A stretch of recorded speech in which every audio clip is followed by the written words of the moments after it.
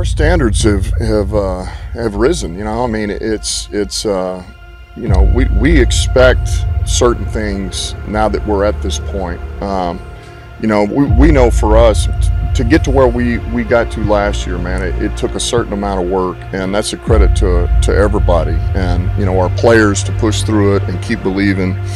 But the bottom line is, man, as good as it was, we didn't get in.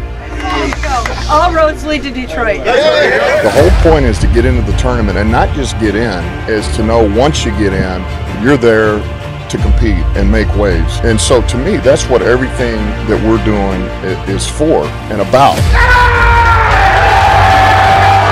Let's live in the moment and uh, let's stay true to what it really is, you know. And we know all we can do is put the work in if we really want to go to where we want to go.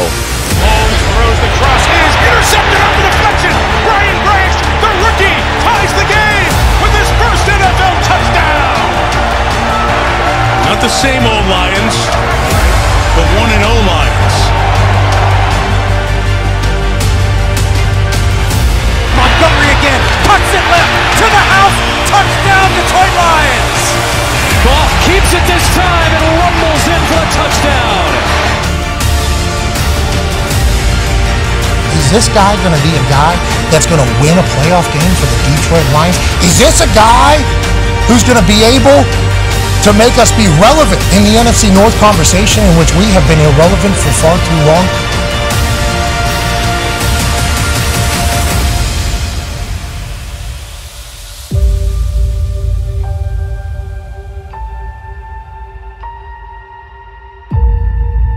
this year is the start of um, what we're going to create here in Detroit, the kind of culture we're creating, and um, just the, the, kind of men that we have. You know, the, it's this is the standard now.